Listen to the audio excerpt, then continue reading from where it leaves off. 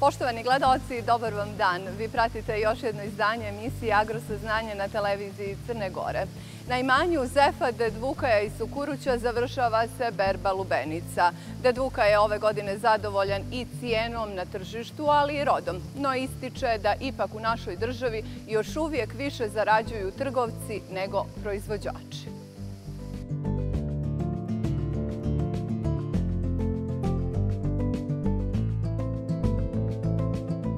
Zefded, Dvuka i Sukuruća proveo je život baveći se poljoprivredom. Ovih dana proizvođači iz Malesije imaju pune ruke posla. Završava se berba lubenica. Imao sam e, jedno 6000 biljaka. Od te 6000 biljaka smo riješili za tri dana. Prodala se ta lubenica dobro na odnosu prethodnih godina i mi kao proizvođači smo, e, da vam kažem, mnogo zadovoljni na odnosu prethodnih godina, jer su cijene bile drastične, pale bile. Tako da ove godine smo išli sa lubenicom, mi koji prodajemo sa šleperima od 20-25, zavisi kako ko možda i koji cent više uzeo. Na podgoričkim pijecama, kaže Dedvukaj, cijene su ipak mnogo veće. Od 30, 35, 40, sve to zavisi kako se naišao na trgovca i, i, i ovaj zahtjeva. Tako da ove godine, iako je bilo dosta teško proizvoditi s obzirom da je bio e, godina takva, opet smo uspjeli i pored tih troškova i, i rada duploga što smo imali, uspjeli smo da spasimo naše proizvode i da plasiramo u tržište kao kvalitet e, i, i dobar rod. Ovih dana se završava berba lubenica, a počela i žetva pšenice. Tu stvari ne stoje najbolje, ali naš sagovornik kaže šta je, tu je. To je zapravo poljoprivreda. Cijena e, pšenice je ove godine katastrofalna. Zato što pala na svetska berza i mi smo tu e, i pored toliko troškova što smo imali, e, ako se budemo mogli da se izvučemo, to bi bilo dobro, ali nadam se da pored roda sve se to zavisiti. Kako ko će imati taj rod. Međutim, e, mi smo e, završili žnjetvu i danas dolaze ljudi kod koji sam i prodao, naši ljudi koji upotrebljavaju tu, odnosno koriste tu pšenicu i taj ječam za stoku uzimaju, ali cijena je bila 20 centi, tako da nemam što da pričam o tome jer za nas je to jako, jako loša cijena. Rod lubenica ove godine je u prosjeku 20 kg po jednom zasadu. E, ja sam zadovoljan jer e, kad daje jedna biljka 20 kg prve klase lubenice, onda treba biti zadovoljan jer sa tom kilažom, iako je cijena malo lošija, pokrivaš se sa troškovima.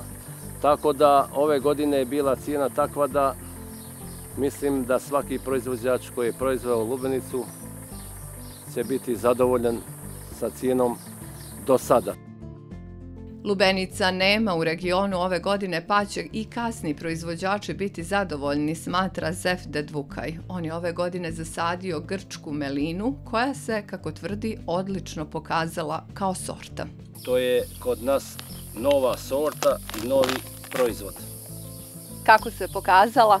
Pa, e, trgovci najviše nju traže, pogotovo Hrvati.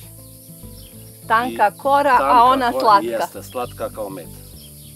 Evo sad, izvinite, e. možete probati.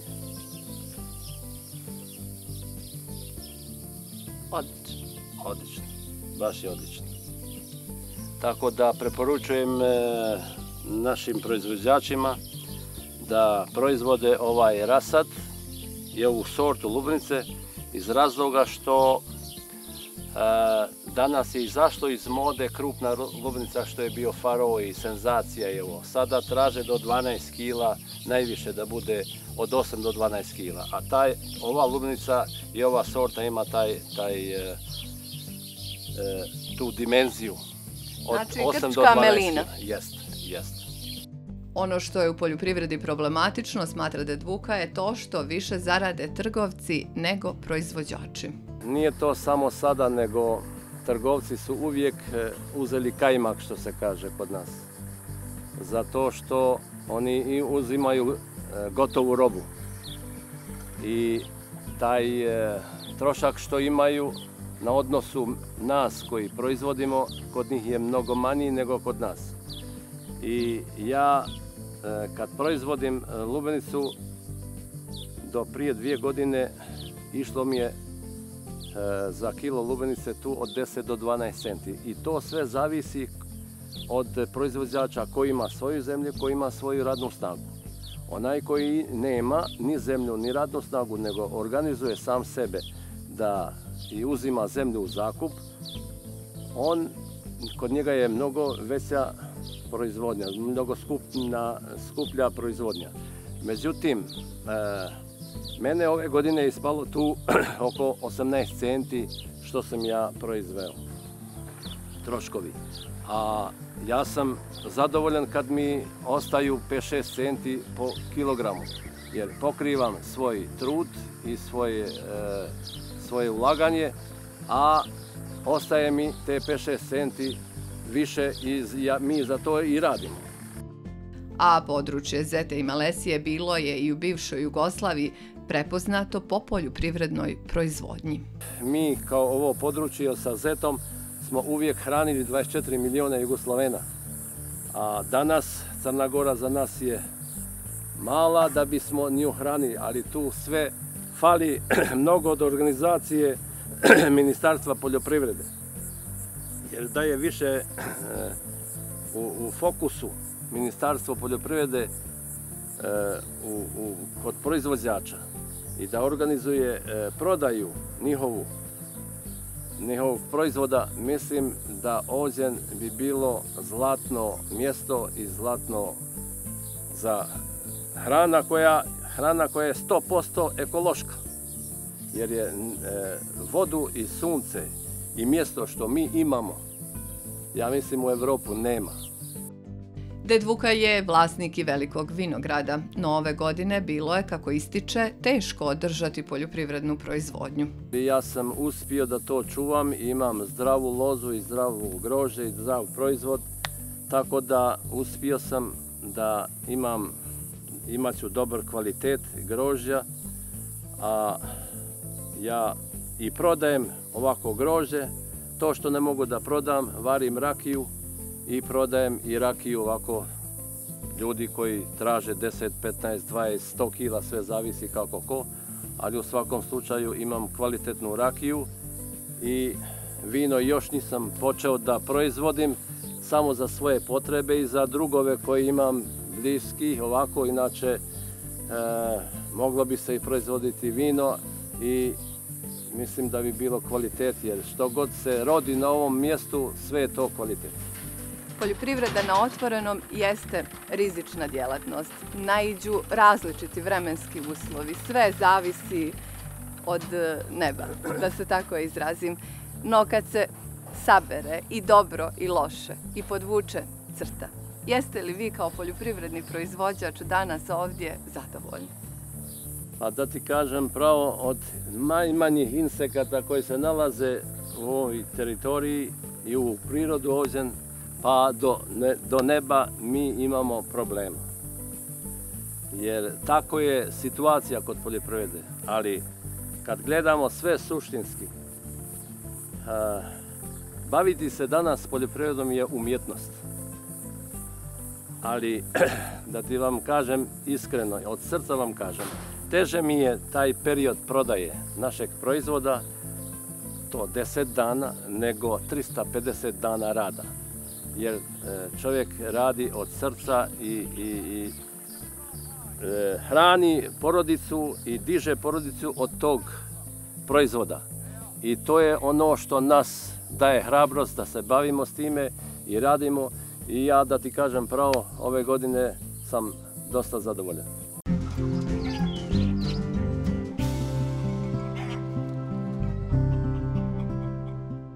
Svetozar Grbović ispod Urmitora već decenijama se uspješno bavi pčelarstvom. No naš sagovornik je odlučio da ide i korak dalje, pa je u mjestu Pašina voda otvorio prvu api komoru u ovom kraju.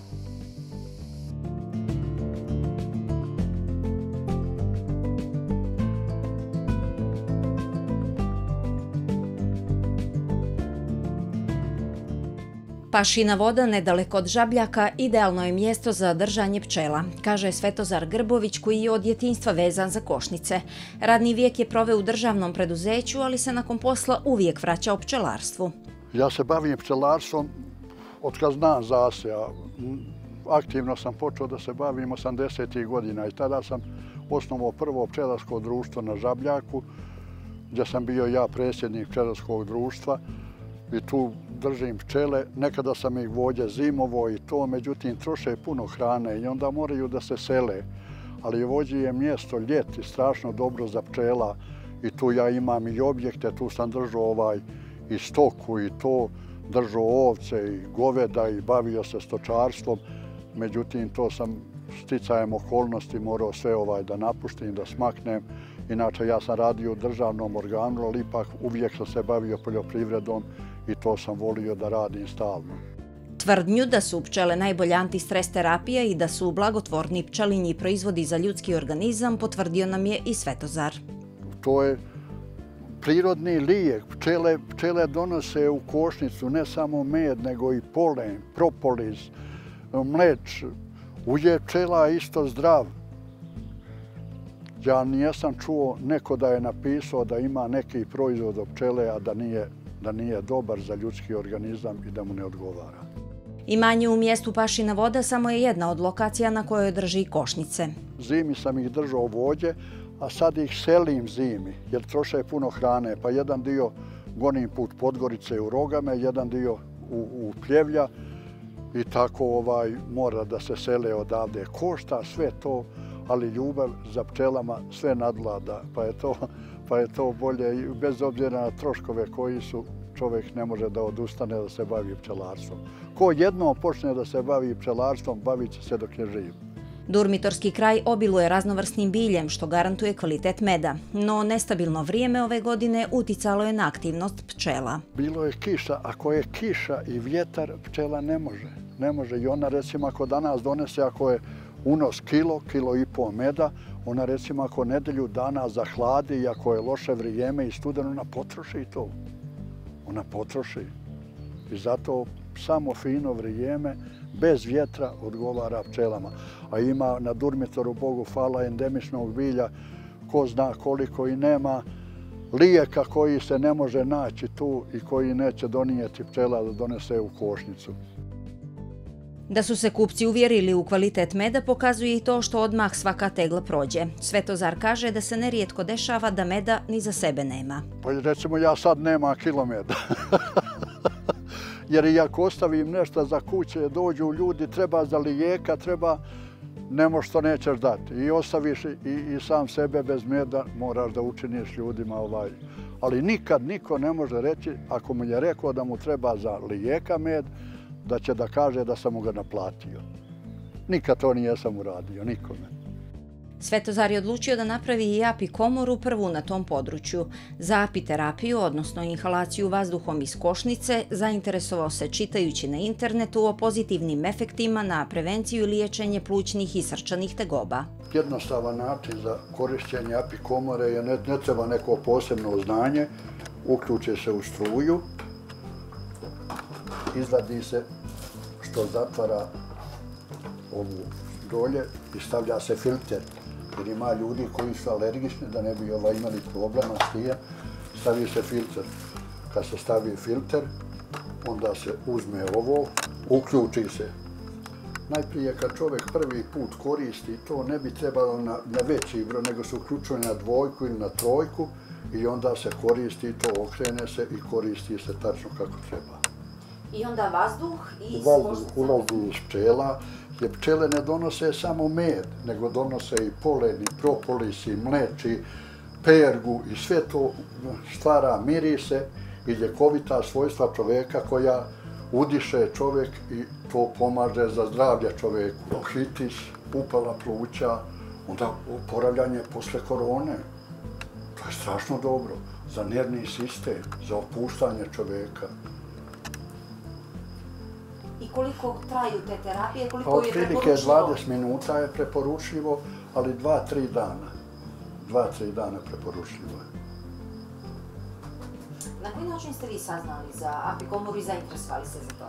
Pa preko interneta većinom. Nije sam drugo nikoga i onda to me zainteresovalo i to sam pratio i gledao i onda sam sam došao do ideje kako to treba napraviti, šta treba napraviti. Nigdje drugo nisam posjetio, nijednu drugu apikomoru nisam vidio. A jedini ste u Žabljaku, ili tako? Jedini na dormitorskom području, jedini koji sam to uradio. Eto, i s tim se ponosim. Apikomoru je sam napravio od prirodnih materijala, a opremu je kupio u Sloveniji. Bio kupio sam građu i to i onda sam sam radio. Podnio sam zahtjev Ministarstvu poljoprivrede. Ako me budu šta mogli da dadnu, daće, ako ne budu, ne budu. Ja sam i opet zadovoljan. Vi to radite iz ljubavi? Iz ljubavi, iz ljubavi prema pčele i, i da se pomogne ljudima. Da se pomogne ljudima jer to koristi ljudima. Jer ja mislim da nema proizvoda od pčela koji nije koristan i koji nije zdrav. Jer med nije samo kao, kao hrana, nego je on i kao lijek. Jeste li vi isprobavali u apikomoru? Jesam, jesam kako da ne. I to mi je koristilo baš dobro. Baš mi je koristilo i sve. Ja sam ovo tek prije nekoliko dana napravio. I onda sam te moje bliže braću, rođake i one sve doveo tu da isprobaju kako to izgleda. I što kažu? Pa zadovoljni su svi. I koristi. Čovjek, evo, reći vam ovaj gospodin, da se puno komotnije diše, da se zdravije, da se uzima vazduh komotno, da. Kažu i za pluća i za srce, da? I za pluća i za srce, i za nervni sistem. Jer pčele opuštaju kad je najumorniji čovjek, kad radi seotske radove i to, ne može da prođe što neće svratiti kod pčela, da malo pogleda. Vas da se tu dešava nešto, neke napadaju, neke, neke se brane, neke se... I to je sve ovaj, to se opušta čovjeka, relaksira ga. Api komora je spremna za prve goste, a cijena će biti simbolična. Jeste, pročulo se i dolazili su iz Podgorice neki ljudi i već su oni to isprobali i to isprobali su, onda su naišli tu neki turisti iz Beograda i onda su i oni došli i oni su srećali, čuli su to u Žabljaku i onda su došli i oni su ovaj probali to. I za kraj naše posjete naselju Pašina voda zamolili smo Svetozara da nam ispriča predanje o tome kako je ovo mjesto dobilo ime. Paša Selmanović došao je u jezera i ologorio je ovdje u ovoj dolini sa vojskom i tu je bio, međutim, jezerci, oni su bili obavezni da plaćaju harač Paši Selmanoviću. I Vojvoda Ilija bio je predstavnik drobnjaka i pozove Vojvodu Iliju da dođe i da donese harač. Vojvoda Ilija dođe tu kod Paše, kaže nema harač, sačekajte me još, ne mogu da dadnem sad odma. On nije htio to da mu toleriše i pogubi Pašu kad je pogubio i Vojvodu Iliju, Vojvoda Ilija imao strašno lijepu ženu Anđu i on poruči za Anđu da dođe kod Paše. Anđa je morala uveče da spava sa njim i onda poslije neko doba, posle pola noći, Paša umoran zaspe i leže, međutim Anđa tada ustane, uzme njegovu sablju, pogubi Pašu, uzme mu glavu i pobjegne na Cetinje sa Pašinom glavom. Posle Pašine smrti Turci su ovde podigli spomenik gdje je bio, međutim, od na dolaska velike vode, vođe dođu u vode u jesen i proljeće, suše, mu taj, suši se taj spomenik, onda su tu ljudi obnavljali taj spomenik, pa je moj punac, eno ima gore u kamenu urezano da je on podigao tu, obnovljao taj spomenik, Međutim, kasnije Bratstvo Krstajica su podigli ovi spomenik. Kao obilježje da je to bilo i da je tu poginuo Paša Semanović i da mu je tu bio spomenik, eno ima sablja, onda je urezana gdje je stavljeno, stavljena sablja Paše Sadmanovića na oni, na oni kamen. I to po, na vašu inicijativu? Jeste.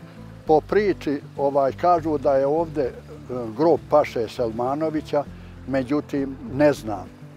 Pričali su mi da je to grob, međutim ima teorija da li je Vojvode ili je da li je Paše Selmanovića. To bi trebalo arheolozi da ispitaju i tek bi se onda moglo znati da se utvrdi tačno čiji je to grob.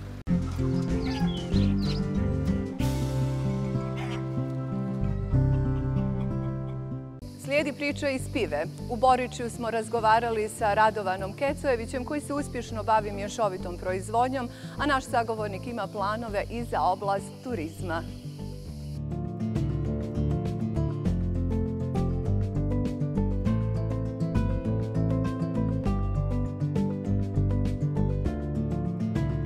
Na Boričkom brdu Radovan Kecojević bavi se mješovitom proizvodnjom. Iako je imao priliku živjeti u gradu, rodni kraj nije želio zapostaviti. Nikad nijesam ni odlazio iskreno iz pive. I fizički, kad god sam mogao, dolazio sam u pivu, radio. Motiv je sljedeći da nastavim što više i što bolje da radim u pivi ovdje da stvaram je taj što su se moj džet prije svega, zatim i otac, cijel život mučili na ovome imanju, radili na ovome prostoru i ne bih mogao dozvoliti da ovdje korov zavlada i da nešto preotme jasike ili, ili trnje ili bilo što u zemlju. Makar dok ja mogu, nadam se, ima nas dosta, Bogu hvala, muških glava, da će i oni da nastave tako i da to ovo imanje se napreduje, napreduje, napreduje i da to bude tako. I upravo na imanju se dosta čega promijenilo? Vi ste osavremenili, napravili i nove objekte, kupili mehanizaciju. Kako je sve to teklo? Pa to je teklo korak po korak, periodično. Znači, s raznom mogućnostima uvijek se odvaja određena svota novca i ulagali smo dio po dio. Napravili smo lijepe objekte za stanovanje prije svega, objekte za životinje, mašine i stekli su se neki i vrijeme, bolji su uslovi puta, zatim struja, u odnosu na ono što su moji djedi i otac se mučili radili, sada zaista ima mogućnosti da se napreduje. Stigla je voda, Bogu hvala, ovaj vodovod iz Gosta je neposredno 5-6 km od Avre, gdje bih se zahvalio prije svega opštini koja je zaista bila korektno izašla u susret i ministarstvu, jer bez vode nema šanse. Šta bi čovjek mogao bez vode da radi? Ovdje nešto ozbiljnije i nešto u većoj nekoj proizvodnji da razmišlja ili turizmu ili bilo čemu, bez vode bi to zaista bilo nemoguće. Koliko posjedujete zemlje, a koliko je grla na farmi? Ovdje u ovom komadu zemlje u jednom krugu mi imamo oko 40 hektara zemlje. Mislim da je od prilike, možda i više od 40, sve u jednom krugu. Tu su dvije ograde ograđene skoro cijelokupno imanje, dvije ograde. Dio imanja većim dijelom se naslanja na kanjon, gdje ćete kasnije vidjeti da je to jedan predivan pogled. Grla ima oko 130 i nekolike ovaj, krupno ovce i oko 150 jagnjadi, znači nepuno 300 malih i velikih. Imaju tri krave i jedan bik.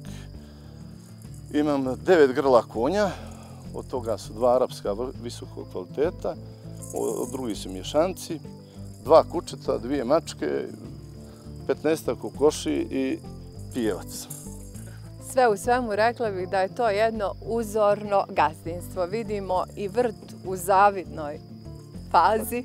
To je jedno gazdinstvo kao i sva ostalo u okruženju, jer svi ovdje slični smo, malte ne. Znači, bilo koje gazdinstvo ste došli u okruženju, to je to. Standardna priča. Radovan kaže da ima dugoročnu viziju koja je vezana za spoj poljoprivrede i turizma. Vizija mi je da pokrenem ujednako Bog da je i turizam. Znači, da taj pogled koji postoji i ova hrana koja je zdrava nikad prskana, da nekako dođe do krajnjeg potrošača i do ljubitelja prirode, da obiđu ovo lijepo imanje, da dobri ljudi su uvijek dobrodošli. Samo da im ponudimo, da im napravimo pristup da mogu i da imaju gdje doći i boraviti. A piva sa druge strane ima, čini se, brojne mogućnosti. Pivska sela su specifična, priroda je netaknuta. Gdje god, čini se, okrenete fotoaparat ili objektiv naše kamere, razglednica. Pa, piva je takva da kad pomislite da je ovdje nešto najljepše, preselite se na drugo mjesto, vidite da nije, nego je ovo još ljepše i sve tako možemo u krug što se pive tiče. Znači, piva je za mene, ja nijesam subjektivan nego objektivan. Znači, za mene je piva broj jedan po ljepoti u odnosu na sve krajeve prelijepe Crne Gore. I pohvalno je sa druge strane što rodni kraj nijeste napustili. Za poljoprivredu kažu da je to i težak život i rad, ali vi se nijeste odrekli ni rodne zemlje, ni tog teškog života i rada. Pa nije ništa teško. Kad čovjek s voljom i s ljubljivo radi, šta je teško? Može čovjek ono što voli da i kad ima cilj i motiv, ništa teško. Sa druge strane, čini se da vam vjetar u leđa daje i ova brojna porodica koja evo i danas makar dijelom na oku. Bogu hvala, to je osnov za sve. Znači, bez naslednika, bez e, porodice ne, ne bi imalo ništa smisla. Mi smo imali jednu tragediju u porodici. 2009. godine poginuo mi je brat Mirčeta, najmlađi moj brat. To nas je dobro uzdrmalo kao porodicu, ali idemo dalje, moramo da se borimo, moramo da, da ovaj, živimo sa time tu su i roditelji i oni još uvijek pomažu i stvaraju. Svakako, oni su cijel život pomagali, radili, stvarali dan danas. I ova bašta koju vidite iza mene, to je uglavnom 70% dijelo mog oca, koji ne dozvoljava da bude trave kroz eh, bilo koju biljku i ne dozvoljava nikada da se prska ničim i tako dalje. Znači, navikli ljudi da rade i cijel život radili, tako i danas i čini se da su se malo i uslovi u crnogorskoj poljoprivredi promijenili na bolje. Svakako da jesu. Dostupnije je doći do mašina, ima subvencija, taj otkup kakav je, takav je, opet je zagarantovan za tu jagnja, mada tu ima nekih bi bilo primjedi, ali da ih ovog puta preskočimo. Uglavnom, kakav, svakako je bolje. Put, prije svega put, evo još malo proći asfalt u blizini kroz naše imanje gore, voda, što sam već jednom rekao, struja, stabilna je prilično, znači lakše je, do... ako bilo šta čovjek gradi, danas kamion dođe na lice mjesta, stovari taj materijal, dok je moj otac morao konjima s Plužinskog mosta daske da dogoni ođe. Zamislite sada njegov život u tim uslovima i život moga djeda i svih u okruženju te generacije i naš danas. To je velika razlika sve jeste mnogo lakše, no ipak nijesu svi kao vi. Većina ljudi napušta u potrazi valjda za boljim ili lakšim životom, ako se to može nazvati. Slika sa terena govori da je većina naših sela prilično napuštena. To je tačno. Problem ovdje je bijela kuga. Znači, ovdje ima u okruženju dvadesetak momaka najmanje koji nije oženjeni. I pitanje da li će se ikada i oženiti, što je zaista tragedija. Onda ako nemate potomstvo, u čemu je suština, za koga se borite, šta radite, mislim, to je pojenta cijele priče. Kad bi neko mogo izmisliti neku formulu da se ti momci požene ili nešto čarabni, neki štapić, to bi bilo već pravo. Jeste li sa druge strane zadovoljni zalaganjem lokalne uprave vaše ovdje gdje funkcionišete i bitišete u sektor poljoprivrede? Pomažu li dovoljno? Iskreno da budem, ovo nije nikako hvala da ih hvalim, a i, i ranije i, i danas sve pohvale mogu da. Znači, potpuno je razumijevanje i mislim da lokalne samuprave i u drugim opštenima u Crnoj Gori trebali bi da se ugledaju na Plužinsku opštinu. To sam ubijeđen u to. I uvijek ima, ima čovjek, poljoprivrednik, proizvođač, pristup bilo kome da se obrati, odnosno pred predsjednikom i bivšema i sadašnjem, znači, izlazili su u susret, tako da sve pohvale, zaista, bez prećerivanja vaša dugoročna vizija vezuje se upravo da ovo što proizvedete na gazdinstvu plasirate upravo ovdje, da spojite poljoprivredu i turizam kao dvije strateške grane razvoja kompletne naše države pa i vaše opštine, da dovedete ljude iz svijeta ovdje da i da im pokažemo da mi imamo nešto što, što je potrebno i zavidno. Upravo tako dobro ste rekli, moji su planovi možda i prećerani i, neobjektivni, ali mislim da ću uspjeti u tim planovima, ali sve u Božim rukama. Znači sve kako gospod bude, bude odredio, tako će biti. Do sada mi se uvijek želja ispunjala, što god sam poželio, to sam i ostvario. Nadam se da će biti u budući. Kecojević ima u planu na Boričkom brdu izgraditi i turističke objekte plana je gradnja turističkih objekata, da se ovo, ovaj lijepi predio ovo imanje, da kažem, valorizuje kako se to izražavaju ovi, ovi malo stručni, ovaj, da se to od, valorizuje i da to bude dostupno svima koji hoće da dođu, da jednostavno otvore im vrata svijetu, što se kaže. A ovdje imaju šta vidjeti. Imamo i lijepe predjele, imamo kvalitetnu hranu, evo ovo neprskano, sve što se može vidjeti ovdje, životinje, pasu, pola ljekovitog bilja, čini se da imamo šta ponuditi ljudima iz svijeta, a oni to prilično znaju i da cijene, možda za razliku i od nas sami koji nedovoljno cijenimo ovo što imamo. Upravo tako, nama je Bog dao i sve imamo to što ste naveli, samo treba upravo ono što sam rekao da se napravi objekti, da se ljudi da im se ta ponuda upotpuni, da imaju gdje doći, da imaju šta vidjeti, šta pojesti, šetati, uživati, to je to. Prenosite li ove vaše pozitivne emocije na vaše potomke, da i oni znaju ko su, odakle su i da cijene ovo parče ove lijepe nam zemlje? Svakako, to je pod broj jedan. To je suština svega, da omladine i naslednici upiju, kao što sam ja upio ovu zemlju i da u biti vole to. Hvala vam puno što ste izdvojili vrijeme za televiziju Crne Gore i što ste jednu ovako pozitivnu i afirmativnu priču podijelili sa našim gledalcima. Hvala vam u svakom slučaju.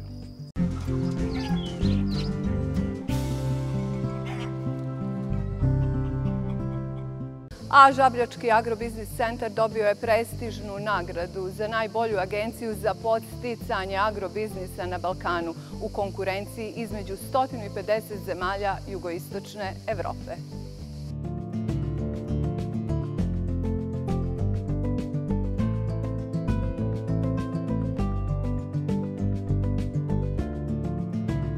Godini kada Novosadski međunarodni poljoprivredni sajam slavi jubilej stotinu godina postojanja, na žabljak stiže vrijedna nagrada. Naime, Agrobiznis Info Centar nagrađen je za doprinos razvoju poljoprivrede. Samostalni savjetnik u toj službi i doktor agroekonomije Darko Stijepović kaže da je to uspjeh ne samo opštine žabljak, već i cijele Crne Gore. E, ono što bih e, naglasio jeste da e, kriterijumi i parametri koji su se bodovali eh, prilikom, eh, eh, da kažem, dodjele jedne ovakve nagrade bili su da smo bili dužni da dostavimo Novosadskom sajmu godišnje izvještaje rada za posljednje 13 godina. Dakle, sve ono što smo radili, sve naše te neke veličanstvene projekte koji su doprinili jednoj ovakvoj nagradi i sigurni budite da zajedno sa službom Agrobiznis centra je i opština Žabljak e, učestvovala i lokalna samouprava opštine Žabljak je zaista e, jedna lokalna samouprava koja je veliku pažnju poklanjala razvoju poljoprivrede. Agrobiznis centar na Žabljaku osnovali su Ministarstvo poljoprivrede i lokalna samuprava prije 13 godina. Od prvog dana, kaže Stijepović, služba se trudila da unaprijedi poljoprivrednu proizvodnju na seoskim domaćinstvima Durmitorskog kraja i da bude najbolji servis proizvođačima. Podsjeća na vrijedne projekte koji su doprinijeli dobijanju ovako vrijedne titule na sajmu u Novom Sadu. Mi smo od prvog dana postojanja registrovali 450 poljoprivrednih gazdinstava u opštini Žabljak. Po sistemu IAKS-a, dakle sistemu koji treba da uspostave sve buduće članice Evropske unije. E, mi smo na području žabljaka omogućili e, edukaciju poljoprivrednih proizvođača na način što smo zajedno sa Ministarstvom poljoprivrede i biotehničkim fakultetom u Podgorici omogućili rad zimske e, planinske škole poljoprivrede, zahvaljujući kojoj smo omogućili našim poljoprivrednim proizvođačima da steknu zelenu diplomu po ugledu na zapadnoevropske zemlje. E, dalje ono što je jako bitno istaći jeste da smo u koordinaciji isto također sa Ministarstvom poljoprivrede ovaj, održali preko 80 edukativnih radionica na temu eh, posticanja razvoja biljne i stočne proizvodnje. Također smo e, zajedno u koordinaciji sa FAO, sa Svjetskom organizacijom za hranu i poljoprivredu, Eh, implementirali projekat eh, koji je doprinio tržišnom, eh, tržišnom prosperitetu naših gazdinstava kada je u pitanju prodaja vune. I mi smo, zahvaljujući tome projektu, otkupili 130 tona vune iz opštine Žabljak i opštine Šavnik. E, također smo zajedno u koordinaciji sa svjetskom organizacijom za hranu i poljoprivredu e, ovaj, e, e, protežirali projekat razvoj malih zelenih biznisa na području nacionalnog parka Durmitor. Zahvaljujući agrobiznis centru, poljoprivrednici ovog kraja obilaze sajmove širom bivše Jugoslavije. Uspostavljena su i partnerstva sa brojnim institutima iz gradova regiona, a sve u cilju jačanja poljoprivrede u Durmitorskom kraju mi smo ovaj omogućili oko milion eura ulaska e, bespovratnih sestava s obzirom da uvažavamo činjenicu da je od 50 do 60 procenata negdje u prosjeku svih ovih 13 godina bila refundacija, odnosno grant, podrška od strane države, Ministarstva poljoprivrede prema našim poljoprivrednim proizvođačima. Također još hoću reći da smo i od javnih poziva prihodovali negdje oko 300.000 eura ovaj, na našim gazdinstvima. Kad sve to sumiramo, ovaj dolazimo do podatka da je, zahvaljujući servisu besplatnih usluga službe Agrobiznis centra, omogućeno da se na najbolji mogući način e, na naša poljoprivredna gazdinstva slije negdje oko 2 miliona i 700 hiljada, dakle između 2,5 i 3 miliona eura. Koliko je isplativo i opravdano postojanje Agrobiznis centra, najbolje se može matematički prikazati, kaže Stijepović koliko je lokalna samouprava opštine Žabljak izdvojila za pokrivanje troškova funkcionisanja rada same naše službe, to je negdje na godišnjem nivou oko 350.000 eura. Kad ova iznos neki prosječni od 2 miliona i 700.000 eura po, podijelimo sa ukupnim e, učešćem opštine Žabljak po pitanju e, rada i funkcionisanja ove naše službe, mi dolazimo do jednog e, veličanstvenog podatka, dakle da na svaki jedan euro uloženi od strane lokalne samouprave za rad i funkcionisanje ove službe Žabljačkom selu vraća se 10 eura. To najbolje govori o rentabilitetu i zaslugama postojanja jedne ovakve službe. Broj aplikanata na javnim pozivima i interesovanje poljoprivrednih proizvođača najbolji su pokazatelj povjerenje i dobre saradnje sa Agrobiznis centrom. Stijepović kaže da nije lako raditi 13 godina sam u toj službi, te da je nagrada na Novosadskom sajmu potvrda zalaganja i zajednički uspjeh poljoprivrednih proizvođača i Agrobiznis centra. Da bi se svi poslovi završavali i bili uspješni, nije bilo dovoljno radno vrijeme od 7 do 3. Moralo je da se radi često od 7 do 7, a nekad i više. Jednostavno nekad i subotom i nedjeljom. Da bi se postiga uspjeh, nije sam mogao jednostavno da trpim da naš poljoprivredni proizvođač e, bude taj koji je oštećen zbog moga radnog vremena od 7 do 3. Jednostavno sam se trudio i žrtvovao da ne postavljam pitanje svoga radnog vremena, a da sve to ide u korist naših poljoprivrednih proizvođača. To naši poljoprivredni proizvođači dobro znaju. Oni znaju da se ovdje na večer i do 9 i do 10 sati ostajalo. E, između ostaloga, ovaj, želim reći da naši poljoprivredni proizvođači e, imaju veliko poštovanje sprem službe. Ali jedno što bih želio da ih zamolim u budućem periodu, e, da ipak e, od početka raspisivanja javnih poziva kada imamo konkurs od mjesec dana, ne gledaju da to sve bude zadnje 10 ili 15 dana. To je jedna velika muka za mene. I ovaj pehar je zajednički, da kažem, trud e, između ostalog i mene i naših poljoprivrednih proizvođača. Velikim dijelom, koliko sam doprinio kao stručno lice sa kolegama e, zajedno iz opštine, također želim reći da su i poljoprivredni proizvođači dio ovoga veličanstvenog uspjeha.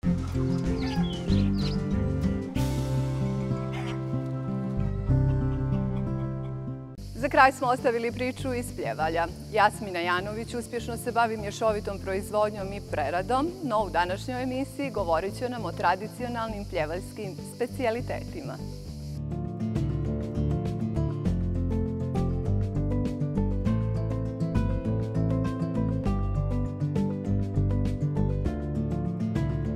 Jasmina Janović iz Pljevalja spojio je poljoprivrednu proizvodnju, preradu i prodaju posjeduje više od 350 grla, a prioritetno na ovom imanju je ovčarstvo. Ovčarstvo nam je najprilagodnije tim uslovima koje mi imamo. A plasman imamo kompletan plasman, čak i radimo dokup od ovih naših kooperanata, plasiramo kroz naše objekte što jednim dijelom prodajemo kao svježe meso, prodajemo kao, ovaj, kao suvo meso, radimo košete, pastrme, ovčije, plećke, sve sušimo podasebno. I kroz restorane u vidu jagnjećeg sača, i u vidu ovog suvog mesa sa salomom i potoplikom. I da napomenemo za naše gledalce da je riječ o potpuno domaćoj proizvodnji, proizvodnji u kontrolisanim uslovima, riječ o neteknutoj prirodi i robi koja se proizvodi na vašem gazdinstvu ili kod vaših kooperanata i da nema apsolutno e, robe iz marketa, da se tako izrazim. Ne, ne, ne, nema tu. Mi sve proizvodimo na našem gazdinstvu. Jedan dio, kažem, što nam prifali, otkupimo naših kooperanata, a uglavnom većinom mi proizvodimo, jer imamo veliki broj uposlenih. Onda u saradnju i sa ovim našim kooperantima pečemo i domaće hlebove od helde, od spelte, pravimo domaću lepinju. Proizvodimo sve osim Coca-Cola. To smo ostavili ovim drugima. I Evo sada došlo je vrijeme da prikažemo ovo što ste vi danas pripremili. To je pa ono što je uvijek interesantno našim gledalcima. Recimo, pošto smo kompletno je meso sa naše ovaj, trpeze, mi smo vam za danas spremili ovaj jagnjeći sač sa povrćem. Evo, to je, recimo, to otprilike tako. To su Znači, domaća jagnjetina. Domaća jagnjetina, to je sve za naše ranča. Priprema se znači, ispod sača. Znači, pripremanja, meso se ovaj, marinira, biber, so, nema tu puno peršu, namirođuje, malo se stavi, stavi se dosta povrća, normalno sredi se i stavi se u sačeve koje se krčka po 3-4 sata. E, ovo ću jelo ostaviti za kraj. Danas smo spremili jedno jelo koje je baš nije tipično pljevaljsko jelo. Radi se, radi se o bosanskom, bosanskoj tepsi, bosanskom sahanu, takozvanom.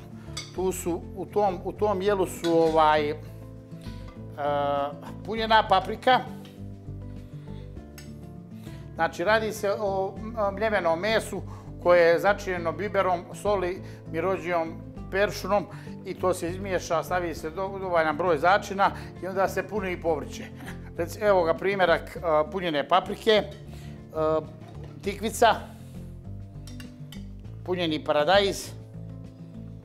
Sve to se kombinuje? Sve se to kombinuje, to je takozvani bosanski sahan.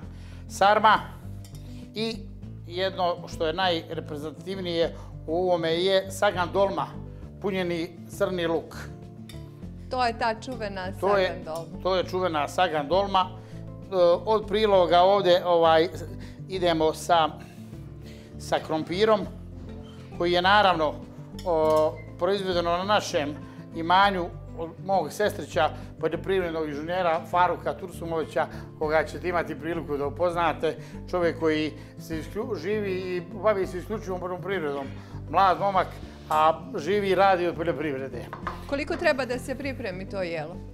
Pa, e, sam čin spremanja, dok se ovo voće, odnosno povrće, ovaj, dok se iskruži, očisti, spremi, treba jedno sat vremena da se napuni, marini, ona marinira začinjima, se jedno sat vremena i zavisi od pečenja između sat i sat i po. Za kraj smo ostavili ovo, po meni, jedno od naših reprezentativnih tradicionalnih jela, koje se po meni eh, služi se i tamo u Bihoru i jednim dijelom Sjenice, a s obzirom da su Pljevlja glavni grad svi ti malih gradova, mislim da je ovaj da ja to ipak ne dam da je ovo ničije jelo sem naše, radi se o eh, korama tijesta koje se peču na šporetu.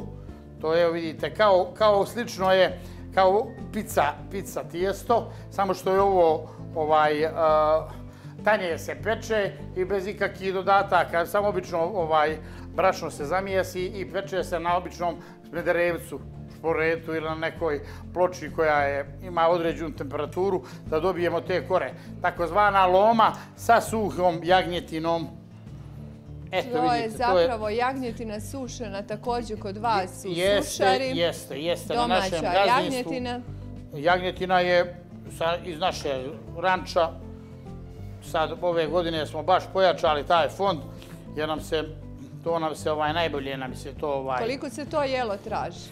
Pa, da vam kažem, malo ko zna za ovo jelo. A, a recimo... Ko proba? Ko proba, bogom mi, i ove opet povratnike.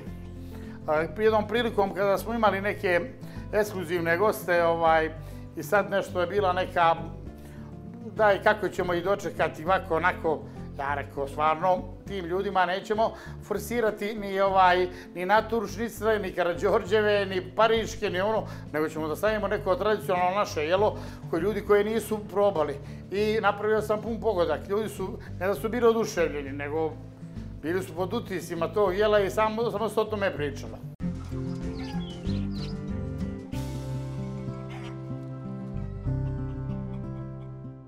Poštovani gledalci, bile su ovo naše teme predviđene za ovu nedjelju agrosaznanja. Hvala vam na izdvojenom vremenu i pažnji. Gledajte nas ponovo za sedam dana. Doviđenja.